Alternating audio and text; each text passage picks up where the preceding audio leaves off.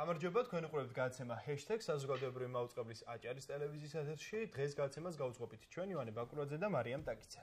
მოგესალმებით, მოკლედ გაგაცნობთ ჰეშტეგის დღევანდელ თემებს. საქართველოს პარლამენტის საკონსტიტუციო ცვლილებებისა და საარჩევნო რეფორმის საკითხის საჯარო განხილვას იწყებს გადაცემის პირველ ნაწილში ჩვენ სტუმარი გიორგი ნონიაშვილი ფლანგვის დეტექტორის თანადამფუძნებელი იქნება. გიორგისთან ერთად მიმოვიხილავთ ქვეყანაში მიმდინარე პოლიტიკურ პროცესებს. გადაცემის მეორე ნაწილში კი ჩვენი სტუმარი ბავშვთა ფსიქოლოგი ქეთი დევაძე იქნება. COVID-19-ით განპირობებული რეალობის ამ რეალობაში აღმოჩენილი ბავშვების ფსიქოსოციალური მდგომარეობისა და პანდემიის შემდგომი გამოწვევების შესახებ ვისაუბრებთ ქეთი დევაძესთან ერთად.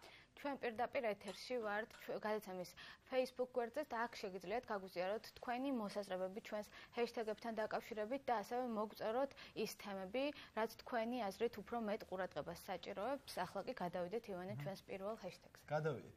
ქვეყანაში მიმდინარე პოლიტიკურ პროცესებს შეეხება დღეს პირველი ჰეშტეგი. საქართველოს პარლამენტმა საკონსტიტუციო ცვლილებებისა და საარჩევნო რეფორმის საკითხს კეჭი თვის ბოლოს უნდა უყაროს. მანამ კი საკითხზე საყოველთაო სახალხო მსჯელობა ჯერ დისტანციურად თბილისში ჩატარდება, შემდეგ კი ბათუმში. გიორგი რურუას ციხიდან გათავისუფლება კვლავ დღის წესრიგში. ოპოზიციის ნაწილი აღნიშნავს, რომ ცვლილებებს მხარს არ დაუჭერენ, ვიდრე პოლიტპატიმარს ციხიდან არ გამოუშვებენ. რაზე შეთანხმდნენ, რაზე ვერ შეთანხმდნენ პროცესში ჩართული მხარეები და რა მოლოდინები უნდა გქონდეს 2020 წლის არჩევნებისთვის თემას მიმოიხილავთ ფლანგვის დეტექტორის თანადამფუძნებელ გიორგი ნონიაშვილთან ერთად. გიორგი, ჩვენი სტუდიის სტუმარია დღეს. მოგესალმებით. გიორგი, მადლობა რომ ხართ ჩვენი სტუმარი. საღამოშტოს. მადლობა გაცემაში მონაწილეობისთვის. მოხერხეთ და ხართ ჩვენთან ერთად. საუბარნა დავიწყოთ დღეს გავრცელებულ საკითხთან დაკავშირებით, რომელიც გიორგი გახარიას გადადგომის საკითხს ეხება თანამდებობიდან. თუმცა ეს ინფორმაცია არ დაუდასტურებიათ, არ დაუდასტურებულა, თუმცა საზოგადოება ამას განიხილავს ფართოდ სოციალურ ქსელში და არა მხოლოდ საუბარი მინდა დავიწყოთ თვითონ გიორგი გახარიას პერსონაჟის შესახებ. თვითონ გიორგი გახარიამ რა აჩვენა, რა აჩვენა ქართულ საზოგადოებას, მაგიდან დავიწყოთ სახელმწიფოსთვის რა გააკეთა და მისი პოლიტიკური ფიგურა ჩვენს ქართულ პოლიტიკაში რა კლიმატს ქმნის. აა მადლობა მოწვევისთვის. პრემიერ-მინისტრზე მაინდა მეც მაღალი წარმოდგენის არ ვარ ბოლო ერთი წლის პროცესები პოლიტიკური პროცესებიდან გამომდინარე, თუმცა ზოგადად გათვლა ქართულოცნებას მგონია გონდა რომ ძლიერი პოლიტიკური ფიგურა ყოფილიყო ხელისუფლების სათავეში, იმ წინა პრემიერების თუ გავიხსენებთ, სასახათ ეგრე არის. აა და ეს რკინის კაცის იმიჯის გაცოცხლება მოხდა, ცხადია, თუმცა ამავდროულად უნდა გვახსოვდეს, რომ ბოლო 1 წლის განმავლობაში ზუსტად ამ ადამიანს ეკისრება პოლიტიკური პასუხისგებლობები თერილ რიგ საკითხებთან დაკავშირებით და 10 წლის წერტილი შეგვიძლია 20 ივნისს ავიღოთ. და შემდგომში 20 ივნისის შემდეგ განვითარებულ მთელ რიგ პოლიტიკურ მანიპულაციებს. ცხადია, რომ ამის გამზიარებელი ამ სიტუაციის გამძიება პირველ რიგში ვიძინე ივანიშვილია. მაგრამ ხელისუფლების სათავეში არის გიორგი გახარია, ამიტომაც სწორედ აქციების მოთხოვნა მაშინ თუ გახსოვთ დაუკავშირდა გიორგი გახარიას გადადგომას როგორც პოლიტიკური პასუხისგებლობის ფიგურას, მაშინ ჯერ კიდე შინაგან საქმეთა მინისტრი იყო. თუმცა მაშინ აი ერთ საინტერესო რაღაცას გეტყვით. მაშინ პრემიერ მინისტრი იყო ბახტაძე, ხო?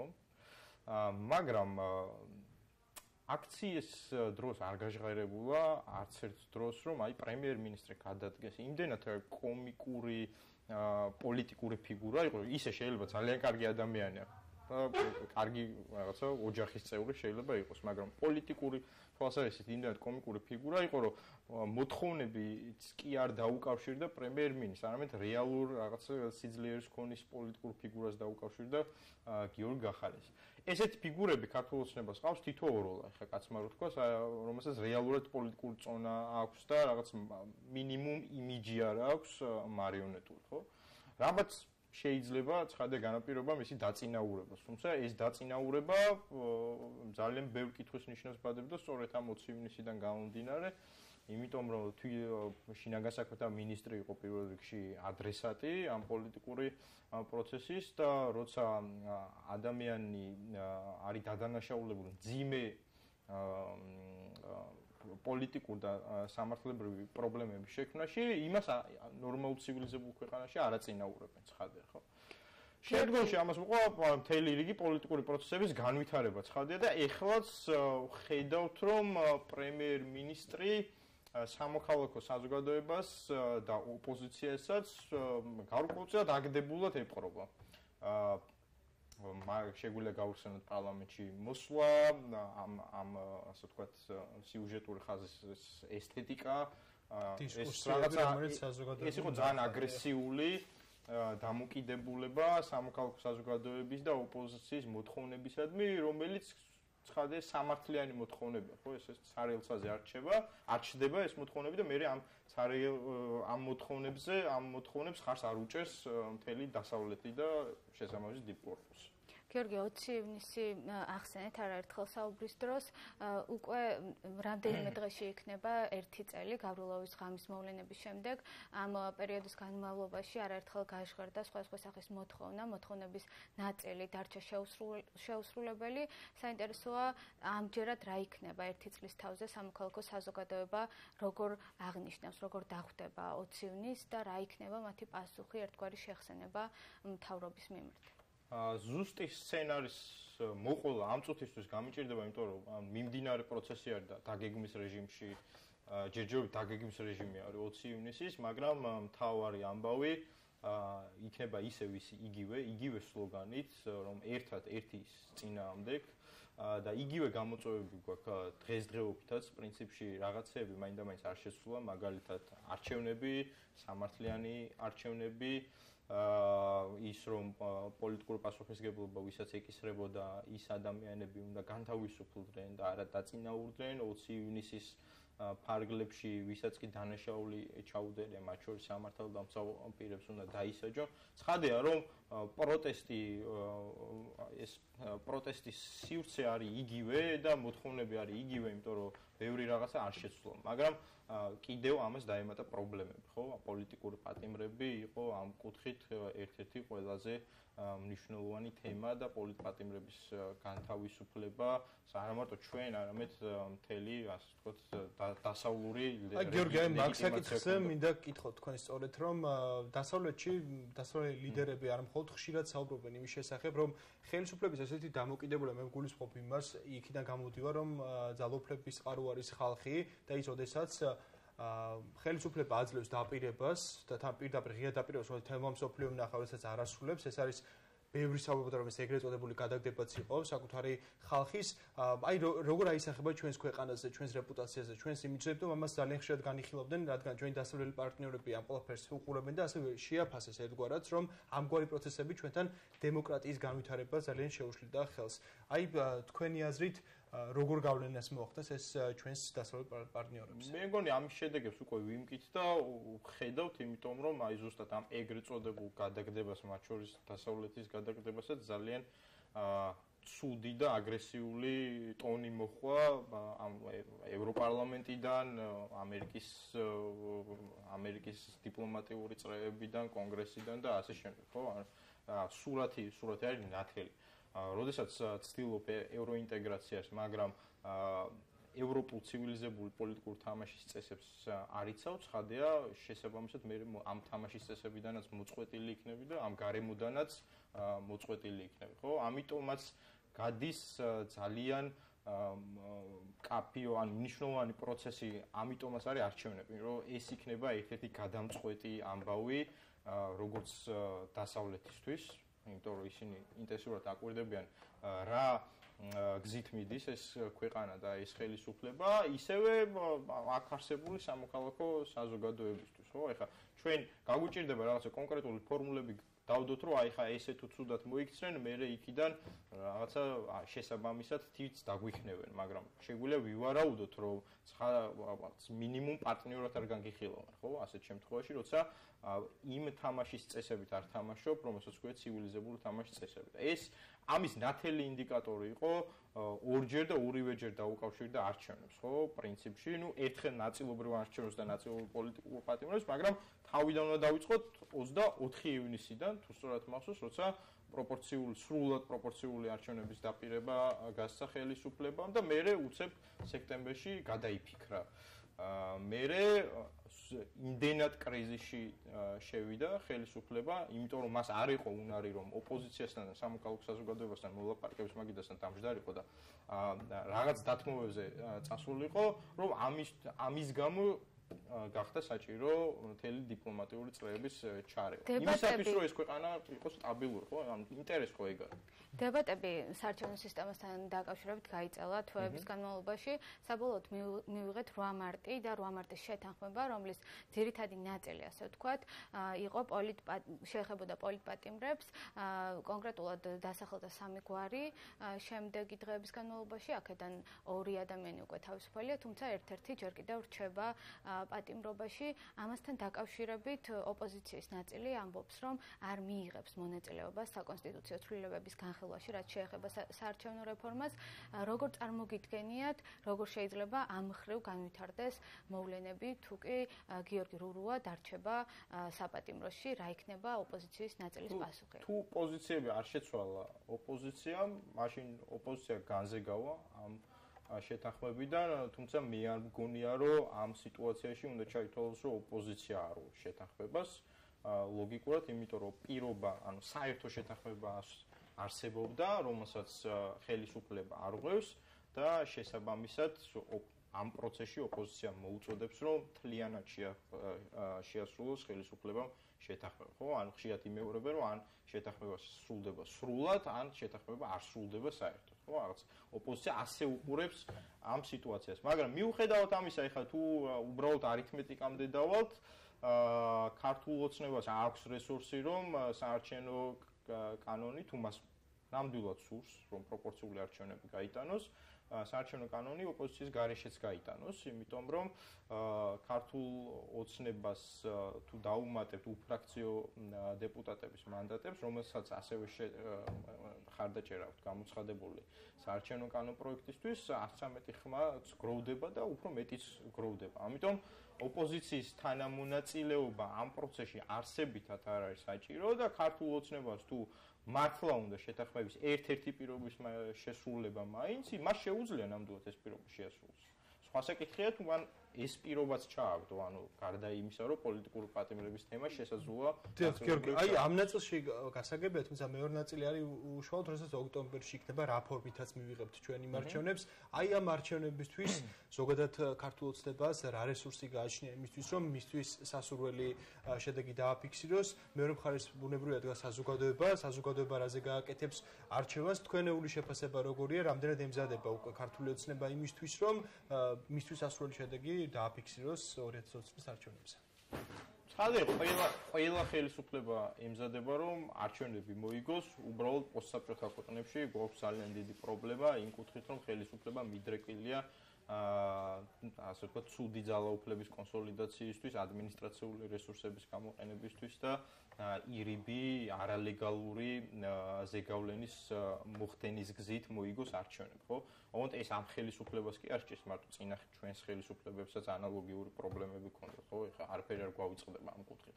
მაგრამ თავიდან უნდა დავიწყოთ თავართ, რომ რატომ საარჩევნო სისტემა, ანუ რატომ არის ეს ბოლო ერთ წლის პოლიტიკური დღის თავარი წესრიგი? იმიტომ რომ პროპორციული არჩევნები ადებს თანაბარ შესაძლებლობებს ეს ერთი და შესაბამისად ხელისუფლება ბევრი ბერკეტი ეცლება იმისათვის რომ არჩევნები მოიგოს მათ შორის კონსტიტუციური უმრავლესობით და არავის არაფერი არ კითხოს საერთოდ და პროპორციული არჩევნები გვესახებოდა გამოსავლად იმისაც რომ არავინ არ მოსულიყო ერთპიროვნულად ხელისუფლებაში, ხო? არ აქვს მნიშვნელობა ვინ მოვა ჩემთვის რეალურად, როგორც სამოქალაქო საზოგადოების წარმომადგენელს, ჩემთვის არ აქვს მნიშვნელობა ვინ მო ვინ მოვა ასე ხელისუფლებაში. მე არა ვარ რომელიმე პოლიტიკური პარტიის მხარდაჭერა, მაგრამ ჩემთვის მნიშვნელოვანია სამართლიანი თამაშის წესები იყოს, ხო? თამაშის ამ თამაშის წესებით თანაბარი შესაძლებლობები არსებობდეს, ეს ერთი და მეორე აი ეს რისკი იყოს გამორიცხული, როცა მაღალი ლეგიტიმაციით მოდიან ძალიან ხელისუფლებები, ერთპარტიული მართლობა და არანაირი პოლიტიკური პლურალიზმი არ არსებობს პარლამენტში, ხო? ამ რისკების დასაზღვევად გვინდა პროპორციული არჩევნები. ну, მივედით იქამდე, რომ სრულად პროპორციულ არჩევნებს ვერ ვიღებთ, ვიღებთ 120-30-ზე გადანაწილება, სადაც 120 არის პროპორციული წესი, 30 არის მაჟორიტარო.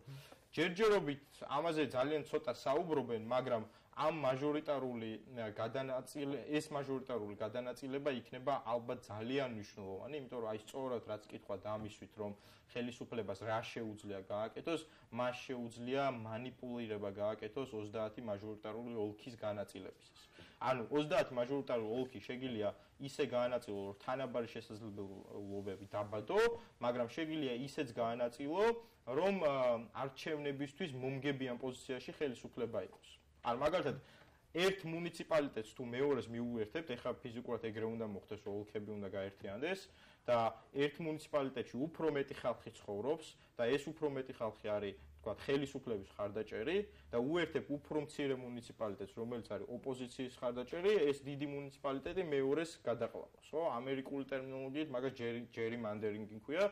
ანუ ჩვენთან არ ხდება მარტო ეგ ამერიკულ პოლიტიკაში რელევანტური ამბავია ანუ გეოგრაფიული საზღვრები ხელისუფლებას შეუძლია ისე გაანაწილოს რომ მისთვის მომგებიანი პირობები იყოს საარჩევნო ოლქებში. და ოპოზიციის პოზიცია ამ შემთხვევაში რა უნდა იყოს რაც გულისხმობს მაჟორიტარების ნაწილს და თემას. ამ შემთხვევაში მათი ერთიანობა რამდენად მნიშვნელოვანია და გვერდ მოქმედება. აქ არის მე მგონია ორად ორი გამოსავალი და მე მგონია რომ ოპოზიცია ჯერჯერობით აა სწორი გზით მიდის, თუმცა აი ბოლო ორი დღის მანძილზე ცოტა მე მგონი აერიათ სიტუაცია ერთიანობაში. ერთი რომ ამ იმ ძინა თემას დავასრულებ რომ ამ საზღვრების განაწილებას და ოლქების გაერთიანებას და დიდი ჩართულობა საჭირო როგორც ოპოზიცია ანუ პოლიტიკური პარტიების ისევე სამოქალაქო საზოგადოების და ოპოზიციამ ისე ჩუმად არ უნდა გაიტანოს ეს გეოგრაფიული განაწილება, რომ ესე თვალსა და ხელშუა თავის მომგებიანი პირობები მიიღოს. მეორე რომ ოპოზიციას თუ სურს რეალური კონკურენცია გაუწიოს ამ შემთხვევაში და მაჟორიტარულ არჩევნებშიც მისთვის თანაბარი პირობები იყოს, უფრო სწორად პროპორციულის მსგავსი პირობები იყოს მაჟორიტარულში, მაშინ ოპოზიცია უნდა შეთანხმდეს საერთო კანდიდატებთან დაკავშირებით პირველ ტურშიც. ანუ თქვათ მეორე ტურში შეიძლება ყველა შეთანხმდეს რომ მეორე ტურში ვინც გავა ყველა დაუჭერს ხარს დანარჩენი ოპოზიციური პარტიები, მაგრამ პირველ ტურშიც ასე უნდა მოხდეს აუცილებლად. რატო? იმიტომ ანუ ჩვენ ხო ვიცით რომ ხელისუფლებები ყოველთვის იგებენ მაჟორიტარებს. ჩვენ ვიცით რომ ეს მაჟორიტარები ძირითადად არიან რეგიონელი რეგიონული ბიზნესმენები, ბიზნესმენები, რომელსაც უნდათ რომ საკუთარი ბიზნესი გააფართოონ, ან ასე ვთქვათ, დაკრეშონ, ამ პარლამენტში ეს ბიზნესმენები არიან რეგიონზე მათი ძალაუფლება ეკონომიკური და პოლიტიკური ძალაუფლებისთვის რეგიონზე. კი ბატონო, სწორად აღნიშნეთ. და ყოველთვის იგებს ხელისუფლება. წინა ხელისუფლების დროსაც მაჟორიტარობას ყოველთვის იგებდა ხელისუფლება, ამ ხელისუფლებაშიც იგებს, იმიტომ რომ მაჟორიტარის ხელში არის ადმინისტრაციული რესურსი, რომელსაც მას აქტიურად იყენებს. ამიტომ ერთადერთი შანსი, რომ ამაში ოპოზიციამ რეალური კონკურენცია გაუწიოს ხელისუფლებას, არის ის, რომ ოპოზიცია უნდა შეთანხმდეს საერთო კანდიდატებს. როგორ უნდა შეთანხმდეს, ეს კიდევ ცალკე საკითხია.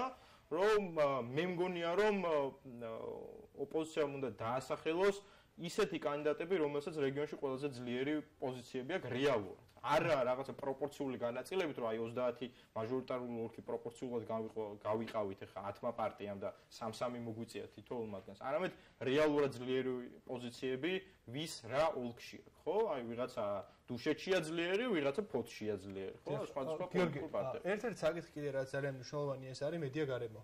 უნებრივადაც არჩევნებზე გვაქვს საუბარი ინფორმირებულ მოქალაქეს მოქალაქეს არსებ მოქალაქეს ძალიან მნიშვნელოვანი რადგან ის ხედავდეს თუ რა ხდება ქვეყანაში რა პოლიტიკური პროცესები ხდება. აი ამ მიმართულებით რა მედია როგორი მედია გარემოთი ხვდებით 2020 წლის არჩევნებს რა სიტუაცია გვაქვს და ამ ნაწილში ასეთვე ასევე აუცილებლად მოვისაუბროთ საზოგადოებრივი მაუწყებლის მნიშვნელობის შესახებ, რადგან საზოგადოებრივი მაუწყებელი აპრიორი უნდა იყოს ყველნაირი გავლენის გადაცლილი და უნდა იმსახურებოდეს იმან რომ იმას რომ ნებისმიერ სახის ინფორმაცია გამჭვირვალედ მივიდეს ადამიანთან. აი ამ კუთხით თქვენი შეფასება როგორია ქვეყანაში არსებული მედია? კი ბატონო, პირველ რიგში ჩემი სოლიდარობა აჭარის ტელევიზიას აა ბოლოდროინდელ პროცესებში. და სოლიდარობა განთავისუფლებულ ჟურნალისტებს. მეორე რაც შემიძლია ვთქვა, რომ საზოგადოებრივი მაუწყებლის როლი რომ ძალიან მნიშვნელოვანია, ეს სწორედ აჭარის ტელევიზიამ გამოაჩინა ბოლო წლების განმავლობაში და არა საზოგადოებრივმა ტელევიზიამ პირველმა არხმა, არ ვიცი, როგორ ქვია სხვანაირად. აა იმიტომ რომ სამწუხაროდ თბილისში საზოგადოებრივი მაუწყებელი ყოველთვის იყო ტყვეობის ქვეშ და პოლიტიკური გავლენების ქვეშ და აი ამიტომაც ხშირად იყო საუბრები რომ აი ჭირდება კი საერთოდ საზოგადოებრივი მაუწყებელი. აი სულ მახსოვს რომ წინა ხელისუფლების დროსაც ეს საუბრები იყო რომ აი სულ ხელისუფლების ინსტრუმენტია ეს ყველაფერი. მაგრამ აჭარის ტელევიზიამ დაგვანახა ბოლო წლებში რომ რეალურად შესაძლებელია რომ საზოგადოებრივი მაუწყებელი ფუნქციონირებდეს ისე როგორც საჭირო. ამიტომაც არის მნიშვნელოვანი ძალიან რომ ეს ტელევიზია პოლიტიკური გავლენების ქვეშ ესა გავლენებისგან იყოს დაცული და რაღაცა უკანასკნელი ბასტიონივით არის მართლა ეს ამბავი. ეს ერთი. მეორე, მედიას როცა ხელისუფლება ეჩის, ეს არის ხომე ბოლო, ასე ვთქვათ, აკორდი და გათამაშება ხომე. ეს კინო ბევრჯერ აქვს ნანახი. წინა ხელისუფლების პერიოდშიც და ამ ხელისუფლების პერიოდშიც მოხდა ესეთი რაღაცა. რატომღაც ხელისუფლებას ეგ უნდა რუსთავი ორი არის მისი მთავარი გამოწვევა ერთი პერიოდი შარშან.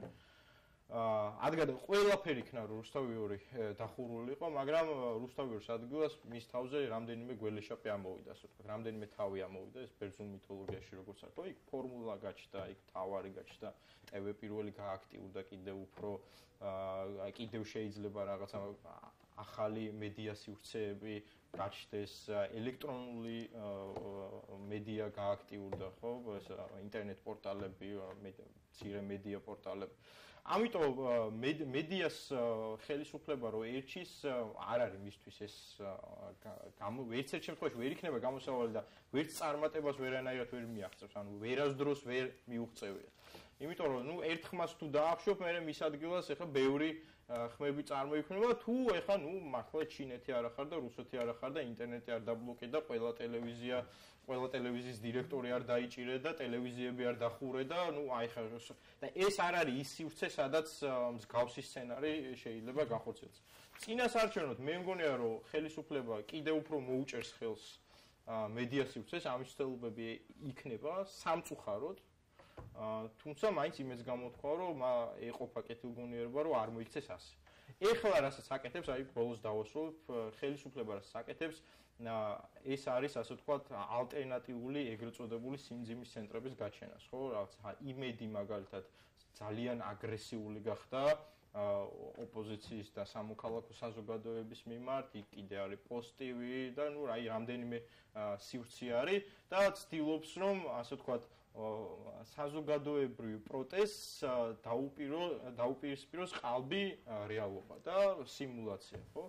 ეს არ მუშაობს. და ეს არ იმუშავებს მით უმეტეს არჩევნების პირობებში, მით უმეტეს, როცა ბოლო სამი თვეა აა ეს COVID-19-ია და ეკონომიკური კრიზისი არის იმდენად მძლავრი, რომ აი დანის წვერზე დავდივართ, ხო? ხალხი ხალხი ძალიან მნიშვნელოვნად დაზარალდა და რაც არ უნდა ელაპარაკო ხალხს ლოიალური ტელევიზიიდან, რომ ყველაფერი კარგად არის, ეს ესე არ იქნება ცხადია, პირიქით ამ შეიძლება კიდევ უფრო აგრესია გამოიწვიოს წინასაარჩევნოდ. დიდი მადლობა, გიორგი ნონიაშვილი იყო ჩვენი სტუმარი, ფანგვის დეტექტორის დამფუძნებელი. მადლობა, გემშვიდობებით და წარმატებებს გისურვებთ. მადლობა კიდევ ერთხელ. ჩვენ კი უნდა გადავიდეთ იოანე შემდეგ თემაზე. შემდეგ თემაზე უნდა გადავიდეთ. მარიამ, შემდეგი თემა ძალიან მნიშვნელოვანია, პანდემიის ეხება ბუნებრივია და უბრალოდ პანდემიიდან გამოწვეულ შედეგებს ეხება. ჩვენ მოკლედ ეს კვირეული ერთგვარად თქვით რომ ბავშვებს უნდა დაუთმოთ ბავშვების მიმართ ყურადღებას მეტი ყურადღება ბავშვებს ჩვენი ჰეშტეგი ესე ესე ვთქვათ და უნდა ვისაუბროთ ბავშვების მენტალური ჯანმრთელობის შესახებ. თუ COVID-19-მა რა რეალობა შექმნა მათთვის ჩვენ ხოლმე წარმოგვიდგენია ჩემთვისაც ჩვენთვისაც ალბათ რომ შესაძ ბავშვი სკოლაში დადის ბავშვი დადის სოციალურია ფიზიკური დატვირთვა აქვს დიდი თუმცა COVID-მა საერთოდ ყველაფერი თავდაყირა და აყენა და უმეტესობა შეცვალა. შეცვალა ჩვენ დღის წესრიგი სოციალურ ქსელებში და არა მხოლოდ შევხვედრია კიდევაც განხილვები იმის მშობლების მხრიდან თუ როგორ აღმოჩნდნენ ბავშვები სრულად მოულოდნელად რეალური სივრცეებიდან საკლასო ოთახებიდან ვირტუალურ სასწავლო გარემოში. თუ როგორ შეიცვალა ბავშვების ცხოვრება როგორ აისახება მათზე უფრო მეტი დროის გატარება ვირტუალურ სივრცეში და როგორ შეიძლება პოსტპანდემიის პერიოდიდან გამოვიდეთ, რა გამოწვევები გვაჩვენა ამ პერიოდმა, გვესაუბრება ქეთი დევაძე, ბავშვთა ფსიქოლოგი, ის ჩვენი სტუდიის სტუმარია. ქეთი, შეგიძლია შემოგვიერთდეს აღომშვიდობისა. მოგესალმებით, დიდი მადლობა, რომ ხართ დღეს ჩვენი სტუმარი. მოგესალმებით, დიდი მადლობა რომ მომიწვიეთ. მოკლედ შესავალი გავაკეთეთ და ვისაუბრეთ იმაზე, რომ COVID პანდემიამ თითქმის ყველაფერი, ყველა მიმართულები თავდაყირა დააყენა და ერთ-ერთი ყველაზე მოწყვლადი შეიძლება ითქვას არიან ბავშვები, რადგან მათ მოუწიათ სახში ყოფნა, მათი სოციალიზაციის ხარისხი შემცირდა და მოკლედ შეიძლება ითქვას, რომ მათი ყოველდღიურობა თუ ისინი ატარებდნენ საკუთარ თანაკლასელებთან ერთად გარემოში ეს რეალობა შეეცვალა. ბუნებრივია ეს ყველაფერი მენტალურ ჯანმრთელობაზეც მოქმედებს, მათ დამოკიდებულებებს მოქმედებს, რეაქციებზეც. საინტერესოა ამ პერიოდში ბავშვები რას გრძნობენ, თქვენ როგორც ფსიქოლოგს შეხება გაქვთ ბავშვებთან, მათი წუხილი ყველაზე კარგად იცით და აი მათი სიტყვა რომ რამენერად გავეშღეროთ ჩვენს ეთერში, მოკლედ გისმენთ. ძალიან ვრცელი შეკითხვა და ძალიან ვრცელი თემაა ზოგადად, იმიტომ რომ აბსოლუტურად სხვადასხვანაირად იმოქმედა პანდემიამ და იზოლაციამ, ფიზიკურმა თუ სოციალურმა იზოლაციამ, სხვადასხვა ოჯახზე, სხვადასხვა კულტურაზე, სხვადასხვა ან სხვადასხვანაირი ოჯახის შვილებზე და ასევე ბავშვებზე სხვადასხვა ასაკის და გამომდინარე. ყველაზე მარტივად შეიძლება ვთქვათ, რომ ეს პერიოდი გადაიტანა მცირე ასაკის ბავშვებმა, რომლებიც ძალიან ბედნიერად გწოვდნენ თავს საკუთარ ოჯახებში მშობლებთან ერთად. რადგან ძალიან ხშირად ჩვენ სწორედ როდესაც მუშაობთ ხოლმე ჩვეულებრივ პირობებში ვაწყდებით ხოლმე სხვადასხვა ემოციურ სირთულეს, რომელიც გამოწვეულია ხოლმე ხშირად მშობლებთან ურთიერთობის დეფიციტთან. ამიტომ ახლა ძალიან ბევრ ოჯახში აი ეს დეფიციტი აღარ იყო, როდესაც ოჯახებთან ერთად იყვნენ იზოლაციაში. ამიტომ ბევრმა ბავშვმა ეს დრო ძალიან კარგად გამოიყენა, რომ მშობლებთან კარგი ურთიერთობა დაემყარებინათ. რა თქმა უნდა, საუბრობ იმ ოჯახებში, იმ ოჯახებზე, რომლებსაც რაღაც სოციალური პრობლემები არ ქონდა ძალიან რთული, ან სადაც არ ქონდა თქვათ სხვადასხვა ნივთიერების ავადმოხმარებასთან დაკავშირებით პრობლემები, ხო? ეს თქვათ ჯანსაღ გარემოში ბავშვებმა თავი უკეთესად იგრძნეს. კეთი, აქვე აღსანიშნავია ჩვენ აუცილებლად დაუბრუნდებით პირველ პირველ კითხვის თემებს, თუმცა აქვე აღსანიშნავია ის ოჯახები, სადაც მშობლები ასევე დასაქმებულნი იყვნენ და შეიძლებოდა ორ გვერდიგვერდ ოთახში მშობლებს სამშაო ეკეთებინათ დისტანცირებულად დისტანციურად, ბავშვები კი საგაკვეთილო პროცესში ყოფილიყვნენ დისტანციურად ჩართულნი. ამ შემთხვევაში ხო არ გამოჩნდა ყურადღების დეფიციტის, ასე ვთქვათ, გამოწვევები და ამ ბავშვებისთვის როგორი იყო პანდემიის დროს ცხოვრება? ხო, აი შეიძლება ამ შეკითხვაზე პასუხი უფრო კარგად მასწავლებლებმა გაქცენა მშობლებმა დაიწუწუნონ, თუმცა ის რომ რა ვიცი საგაკვეთილო პროცესი ჩაეშალათ ბავშვები ამითი ძალიან შეწუხებულები არ ჩანდნენ ყოველ შემთხვევაში მომართვები არ იყო აი ესეთი ჩივილებით. ხო შესაძლოა რა თქმა უნდა ასეთ ოჯახებში და ზოგადადად ძალიან რთული იყო სასწავლო პროცესის აი ესეთი დისტანცირება. ბუნებრივია გაუჭირდა ოჯახებს გაუჭირდა თვითონ ბავშვებსაც მასწავლებლებს ძალიან გაუჭირდათ თუმცა რომ გითხრათ რომ აი ამის შედეგად ბავშვებმა ძალიან დიდი ემოციური ზარალი მიიღეს მოგატყუე. კეთი ერთი ამბავი კიდევ არის ისიც რომ მე პირადად გამიგია ჩემი გამოცდილებით რომ ხოლმე ბავშვები წუწუნებდნენ იმაზე რომ დედა სახშია მაგრამ მუშაობს ანუ დედის ბავშვის იყო განსაცვლება რომ დედა სამსახურშია იცის მუშაობს და ელოდება როდის მოვა მაგრამ როდესაც გვერდით ოთახში ყავს დედა და მუშაობ რაღაც ვერ ეგუებ მეტი ყურადღება გინდა და ხოლმე არის რომ აი ამ დროსაც რაღაც პრობლემები წარმოიქმნებოდა ვერ იგებდნენ დედის ესეთ მდგომარეობას. აი ამ შემთხვევაში რა შეიძლება იყოს ამ ბავშვებისთვის მხარდასაჭერი თქვა საუბრები იქნება ეს მშობლების მხრიდან ფსიქოლოგის მხრიდან რომ აი ასეთ მდგომარეობას ადეკვატურად შეხედონ და შეხედონ არა როგორც სტრესულად, არამედ როგორც რაღაც ახალ გამოწვევად.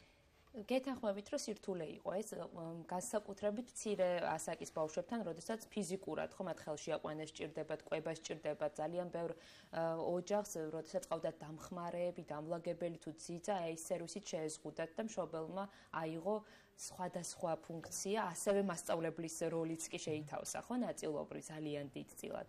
რთული იყო ნამდვილად, მაგრამ ზოგადად ბავშვებს ძალიან მოსწონთ სხვადასხვა როლის მორგება. იმ როლის, როდესაც ხედავენ, რომ დედა ახლა მუშაობს, რომ ხედავენ თუ როგორ მუშაობს, რას აკეთებს, რა თქმა უნდა შეიძლება იყოს თავდაპირველად ეს ხელი შემშლელი მშობლებისთვის, თუმცა ძალიან მალევე ერგებიან ხოლმე ამ ახალ როლს და იწყებენ დაფასებას. რა თქმა უნდა, როდესაც მშობელი ძალიან სწორად გაავლებს საზღურებს, როდეს არის სამუშაო დრო ბავშვისთვის და თავისთვისაც და როდეს არის დასვენების დრო. რადგან როდესაც ახლა შესაძლოა საუბრობდით რომ აი გაჯეტებთან გაჯეტების მოხმარება ზოგადად თავისუფალი დროის არასწორად განაწილება ხო? ეს პრობლემები ჩვენ მხოლოდ პანდემიის დროს არ გქონია. ჩვენ გვაქვს ხოლმე სამთვიანი არდადეგები როდესაც ზუსტად იგივე პრობლემები გვაქვს ხო? ვიღებთ ხოლმე ძირითადად ორი სახის შობელს რომელიც ბავშვის თავისუფალ დროს სრულიად განკარგავს შეყავს წრეებზე, ამეცადინებს ზაფხულშიც ხო მათემატიკას, აკითხებს ძალით წიგნებს და მეორე მშობელი რომელიც არ აკონტროლებს დროს და ბავშვი არის თავისუფალი და მთლიანად ჩაფლულია გაჯეტებით, კომპიუტერით და ასე შემდეგ ამ თამაშებით, ხო? ეს პრობლემები მხოლოდ პანდემიას არ გამოუწევია და იზოლაციას. თუმცა ეს პრობლემები ზოგად მიდგომებშიც არსებობს. ფსიქოლოგებისგან, სპეციალისტებისგან ხშირად გაგვიგია ერთგვარი რჩევა, რომ ნაკლები დრო გაეტარონ ბავშვებმა გაჯეტებთან, როგორც პანდემიამდე. თუმცა პანდემიის პერიოდში როგორ შეიძლება ხო არ გაურმაგდა ელექტრონულ მოწყობილობებთან ბავშვების ურთიერთობა და ასე ვთქვათ, კავშირი. და ასევე ივანემ სოციალიზაციის პროცესების შესახებ დაიწყო საუბარი. ასევე საინტერესოა ბავშვებისთვის ის ურთიერთობა, რაც მათ აქვს თანაკლასელებთან თუ სხვა სხვა კლასგარეშე აქტივობების დროს მეგობრებთან, აი ამ ვირტუალურ სივრცეში როგორ განვითარდა ეს სოციალიზაციის პროცესი, რამდენად განვითარდა, ასე ვთქვათ.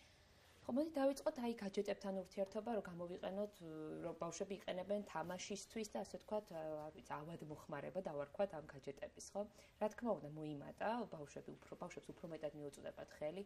თუნდაც იმიტომაც რომ იყენებენ მას გაკვეთ საგაკვეთილო პროცესში მშობლები უკვე ვეღარ აკონტროლებენ თუ რეალურად რისთვის იყენებენ რასაკეთებს ბავშვი. ისედაც მშობლებიც და ბავშვებიც გაცილებით მეტად მოიხმარენ ამ პერიოდში როცა სახლში არიან გაჯეტებს ბუნებრივია. და ჩვენ არის თავის დროზე ახლა შეიძლება უკვე დაგვიანებული ამაზე საუბარი, მაგრამ თავის დროზე გქონდა ძალიან ბევრი რეკომენდაცია. ფსიქოლოგებს, ზოგადად სხვადასხვა ორგანიზაციებს. ეტაპობრივად, ასე ვთქვათ, მივსდევდით ფეხდაფეხ ამ პრობლემებს და რჩევები გქონდა თუ რა უნდა გააკეთო, როგორ უნდა ჩაი ჩაითრიონ ბავშვები სხვადასხვა თამაშებში. თუმცა მეორე ნაწილი ამ შეკითხვის ალბათ ეხებოდა იმას, რომ სწორედ რომ არა ეს ვირტუალური სივრცე ბავშვებს, დიდებსაც, უფროსებსაც ძალიან დაგვაკლდებოდა სოციალური ურთიერთობები. პირიქით ჩვენ მოუწოდებთ, მოუწოდებით, ახაც მოუწოდებ მშობლებს, რომ ბავშვები ჩართონ აი ამგვარ სოციალურ სივრცეებში, ვირტუალურ სოციალურ სივრცეებში, რადგან მათ არ დაკარგონო თანატოლებთან ურთიერთობა, განსაკუთრებით აი დაწყებითების ასაკის ბავშვები, ხო? ასეთ ასაკში. კიდე თან ასეთ ასაკში თვითონ არ არიან ხოლმე ხშირად ურთიერთობის ინიციატორები, ხო? გარდატეხის ასაკში და მეરે უკვე თავად აქვთ ხო ეს სივრცე და კარგად გრძნობენ თავს. მაგრამ მანამდე ხო თვითონ არ არიან ხომ ინიციატორები. კარგია რომ შობელმა თქვათ დაარეკინოს და დაალაპარაკოს თავის თანატოლს. არა მარტო თავის თანატოლს უფროსებსაც ნათესავებს და ასე შემდეგ. რომ ეს დეფიციტი არ შეიქმნა სოციალური ურთიერთობების. კეთი მე მაინტერესებს ასევე ისაკითხიც როდესაც ჩვენ პანდემია როდესაც დაიწყო მოკლედ ეს პროცესი ჰეშტაგში ქონდა საუბარი იმის შესახებ რომ თვითონ რა ტიპის კომუნიკაცია უნდა დაამყაროს მშობელმა შვილთან, რადგან ამ დროს, ამ გაურკვევლობის დროს, როდესაც შვილი უყურებს, რომ დედაც რაღაც საკითხებზე ნერვიულობს, შეიძლება თვალი მოკრას ტელევიზორში ისეთ ფაქტებს, რომ თითქოს, რა ვთქვა, პანდემიის გამო ბევრი ადამიანი დაზარალდა. ასე შემდეგ, როდესაც ბავშვი უჩნდება კითხვები. აი ამ კითხვებზე პასუხი როგორ პასუხი უნდა გქონდეს მშობლებს? მე ბუნებია არ გეკითხები კონკრეტულ კითხვებს უბრალოდ მე გულისხმობ კომუნიკაციის ხარისხი როგორ უნდა შეინარჩუნოს მაღალი ხარისხი მშობელმა და როგორ უნდა დაამშვიდოს ბავშვი და როგორ უნდა გააგებინოს. ის რომ ეს არის ჩვეულებრივი პროცესი რომელიც ადრე თუ გვიან გადაივლის და როგორ დაამშვიდოს ის რას ურჩევდით თქვენ მშობლებს? დიახ ბავშვებისთვისაც და ზოგადად ადამიანებისთვის ძალიან მნიშვნელოვანია რომ იცოდნენ ახლა რა ხდება მათ თავს და რა მოხდება ხვალ გაურკვევლობა ძალიან რთული არის განსაკუთრებით ბავშვებისთვის, რომლებიც ხედავენ, რომ თვითონ ვერ აკონტროლებენ ამ ყველაფერს. ფაქტობრივად პანდემიის დროს თავდაპირველად აი ეს ისტერიკა რატომ რატომ წარმოიქმნა ხო უფროსებშიც რომ ჩვენ შევხედეთ და დავინახეთ რომ რაღაცას ვერ ვაკონტროლებთ ჩვენ თვითონ. დაგეგმილი გქონდა რაღაცა და გადაიგეგმა ხო? ჩვენ არ გვაქვს მართვის სადავეები. ეს არის ძალიან დიდი სტრესი ჩვენთვის. წარმოიდგინეთ ბავშვები რომლებიც ვერ აკონტროლებენ ისედაც ბევრ რაღაცას და ახლა უკვე ვინც აკონტროლებს ისიც დაბნეულია ხო? ხედავენ რომ შობლები ნერვიულობენ რაღაც არაჯანსაღად რეაგირებენ რაღაცეებზე ხო ხედავენ რომ რაღაც ყოველდღიურობა რაც იყო მათი ცხოვრება დღეს აღარ არის მათ ბევრი შეკითხვები აქვთ. ჩვეულებრივ ჩვენ ყოველთვის ურჩევთ ხოლმე მშობლებს რომ რეალური ადეკვატური ინფორმაცია მიეწოდონ ნებისმიერ თემაზე რაც არ უნდა იყოს ეს ცუდი დრამატული თემა და თითქოს რთული ნებისმიერ თემაზე. რადგან ჩვეულებრივ ვითვლება ხოლმე რომ ბავშვები ბავშვებს უფრო ცუდი მოლოდინიოთ ვიდრე არის რეალობა ხო? ფიქრობენ რომ აი ვიღაც ხო არ მოკვდა როდესაც შეიძლება უბრალოდ ავათი იყოს ხო ვიღაც მაგალითად ამიტომ ჯობს ხოლმე რომ უფრო ადეკვატური მათთვის გასაგებენას ინფორმაცია მივაწოდოთ და ასევე ძალიან ფრთხილად ვიყოთ თუ ჩვენ თვითონ როგორ რეაგირებთ რაღაცაზე. რადგან თუ გინდ ის რომ გასაგებია რომ ახლა აღარ ვუხსნით ბავშვებს რა არის კორონავირუსი, ხო ეს ჩაი, ამენ ჩაიარა. მაგრამ ახლა უკვე ვასწავლით ახალ უნარებს. როგორ უნდა დაიბანონ ხელები, რომ პირბადე უნდა გაიკეთონ, რომ რაღაცას ედმეტად ხელით არ შეეხონ, ხო? გარეთ უშვებთ აი ამ, ასე ვთქვათ, საშის სამყაროში თითქოს და ძალიან ფრთხილად უნდა ვიყოთ ამ ინფორმაციას როგორ ვაწოდით ბავშვს, რადგან შეიძლება სამომავლოდ ჩვენ ამ წუთას დავიცვათ ის კორონავირუსისგან და სამომავლოდ ძალიან ბევრი კომპლექსი, ან ძალიან ბევრი სხვადასხვა ფსიქიკური ჯანმრთელობის დარღვევა ჩამოუყალიბოთ, სხვადასხვა, არ ვიცი, ჯანმრთელობის დარღვევები, ხო? ამიტომ თხილად უნდა ვიყოთ ბავშვს რას ვასწავლით. კეთი აღნიშნე ჩვეულ რეჟიმში შეიძლება თანდათან დაბრუნდნენ ასე ვთქვათ ბავშვები ვასწავლით ელემენტარულ ჰიგიენის ნორმებს როგორ დაიცვან თავი თუმცა რაც შეეხება კონკრეტულად განათლებას ჯერჯერობით არ ვიცით ზუსტად როგორი სასწავლო წელი იქნება შემდგომი თუმცა თუ კი ბავშვებს დისტანციური სწავლების ამ ხუთთვიანი ექვსთვიანი პერიოდის შემდეგ მოუწევთ დაბრუნება კვლავ აკადემიურ სივრცეში სკოლებში რა სირთულეებს შეიძლება გადააწყდნენ ისინი რაც გულისხმობთ კონკრეტულად ნამდვილად ფსიქოსოციალურ ფსიქოლოგიურ მდგომარეობას ბავშვების და რა ბარიერები შეიძლება დახვდეთ მათ უკვე სასკოლო გარემოში. მე ვფიქრობ, რომ 1 სექტემბერი, ასე ვთქვათ, როდესაც იქნება ეს 1 სექტემბერი, ძალიან დამსგავსებული იქნება აი პირველ კლასელის 1 სექტემბერს, რომლებსაც უჭირთ მერხთან ჯდომა, იმიტომ რომ გადაჩოულები არიან აი ამგვარ რეჟიმს. უჭირთ ყურადღების კონცენტრაცია, უჭირთ ურთიერთობები, ხო სახში უნდა დედასთან და ძალიან მიმსგავსებული იქნება ნებისმიერი ასაკის ბავშვის მდგომარეობა, სწორედ აი ამ პირველ კლასელის 1 სექტემბერთან. ეს მოსალოდნელია, ამას ძალიან გაგებით უნდა მოვეკიდოთ. ჩვენც მასწავლებელიც და ბავშვიც უნდა გავაფრთხილოთ კიდეც, რომ შეიძლება გაუჭirdეს მათ, რადგან ჩვეულებრივ არდადეგების მერეც უჭirt ბავშვებს დაბრუნება საკლასო ოთახში. ამიტომ ჩვენ ჩვენი რეკომენდაცია იყო ამ დროსაც და ეხლა არდადეგებზეც იქნება ის, რომ მაქსიმალურად ოჯახებმა ბავშვის ყოველდღიური რუტინა, რეჟიმი მიამსგავსოს იმ დღის განრიგთა, რომელიც მას პანდემიამდე ქონდა, ან ექნება შემდგომში, როდესაც ეს პანდემია დასრულდება, ხო? ისევ გაიღვიძოს იმ საათზე, რომელზეც იღვიძებდა იმისთვის, რომ სკოლაში წასულიყო, ხო? ისევ იმდენი დრო დაუთმოს, მაგალითად, მეცადინეობას თუ თქვა რაღაც სპორტულ აქტივობებში იყო სახში, ივარჯიშოს, ხო? ზუსტად ის დრო დაუთმოს ისევ სპორტს. ისევ ჩავრთოთ აი ძალითაც კი თუ ბავშვს არ უნდა, ხო? ცირე ასაკს გულისხმობ ურთიერთობებში სოციალურად. რადგან აი ჩაულებრივი მაგალითად გარდატეხის ასაკში ხო ბავშვებმა უკვე იმდენად ახალი რაღაცები გამოიგონეს ვირტუალურ სივრცეში. ხო უკვე შევხვდებით მაგალითად ღამის გათენება ერთად ჯგუფურად ვირტუალურად. ხო აი ესეთი რაღაცები მოი ფილმის ყურება ერთად ვირტუალურად, ხო? თითქოს შეიუსეს მათ. აი რაღაც ასაკის შემდგომ ხო ბავშვებმა ეს ყველაფერი.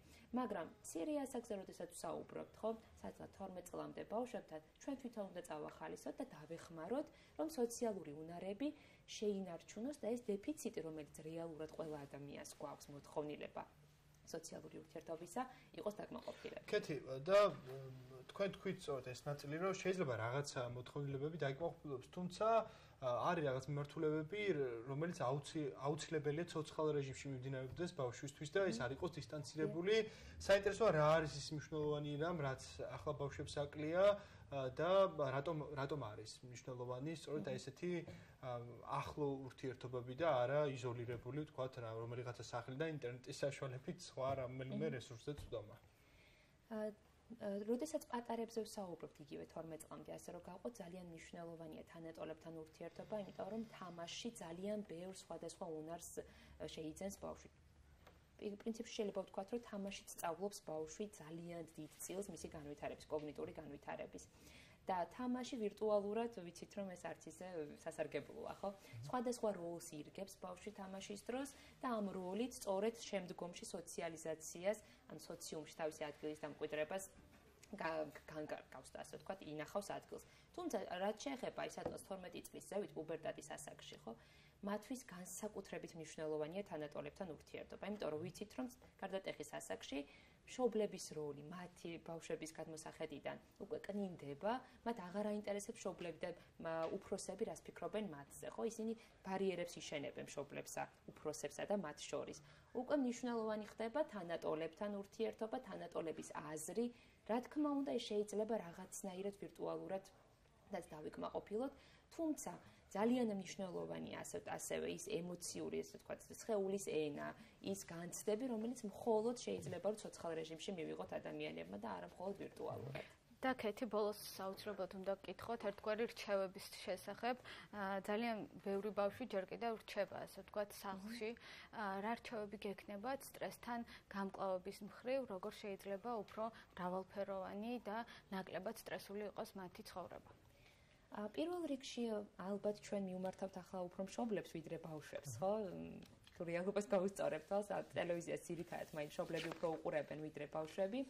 და კარგი იქნება თუ მშობლებს ვეტყვით, რომ რაცაც ალბათ ყოველთვის ვეუბნებით ნებისმიერ გარემოებაში, რომ ეცადონ უფრო ახლო ურთიერთობა ქონდეთ საკუთარ შვილებთან. ეს საუბრონ ძალიან ბევრი. ეს საუბარი ხშირად მშობლებს გამოსდით ცალმხრივად, ხო? ჩვენ მხოლოდ ვეკითხებით ხოლმე, მაგალითად, ბავშვს რა მიიღე, ვინ იყო ის ბავშვი, ხო? და ეს არ არის ხოლმე ორმხრივი. კარგი იქნება თუ ორმხრივად დაველაპარაკებით ჩვენ შვილებს, ჩვენც მოუყვებით ჩვენს განცდებზე. თუ გვეშინია, ჩვენც ვეტყვით რომ გვეშინია, ხო? გასაგებია რომ ახლა ჩვენც არ გვაქვს რაღაც შეკითხვებზე პასუხები, ჩვენც გაურკვევლობაში ვართ უფროსები. ეს ყველაფერი გავუმხილოთ ჩვენ შვილებს. ოღონდ საუბრის ბოლო აუცილებლად უნდა იყოს პოზიტიური, ხო? რაღაც იმედის მომცევი, პოზიტივზე ორიენტირებული უნდა იყოს და არ უნდა დავასრულოთ იმით, რომ დავაშინოთ კიდევ უფრო ბავშვი. ჩვენს გრძნობებზე ვესაუბროთ, მათ გრძნობებზე ვესაუბროთ, დავინტერესდეთ. ძალიან მნიშვნელოვანია რომ გრძნობების სახელდება გავაკეთოთ, ხო? რასაც გრძნობს ის ჩვენ მას ჩვენ სახელი დავარქვათ რომ ეს შიშია ეს აგრესია და ბუნებრივია რომ ბავშვს ოდესაც რაღაცას ვერ მიაღწევს მიზანს ვიღაცამ რაღაცა წაართვა. ეკნება ბრაზი აგრესია ხო? ამის სახელდება გავაკეთოთ. და ვეცადოთ რომ გავუგოთ ჩვენ შვილებს. მათთან კონტაქტი და ურთიერთობა არ დავკარგოთ კეთი ძალიან დიდი მადლობა საუბრისთვის. იმედია ვინც გვისმენდა ამ რჩევების გაითვალისწინებს და ბუნებრივია ჩვენც იმედი გვაქვს რომ ყველანი დავბრუნდებით იმ ცხოვრების რიტმს რომელშიც ვიყავით პანდემიამდე. კეთი დევაძე ფსიქოლოგი იყო ჩვენი გაცემის თემარი და ვსაუბრობდით მენტალური ჯანმრთელობის შესახებ, ბავშვების შესახებ, მეტი ყურადღება ბავშვებს. ჩვენ ამ თემებით უნდა დავამშვიდობოთ ჩვენს მაყურებელს.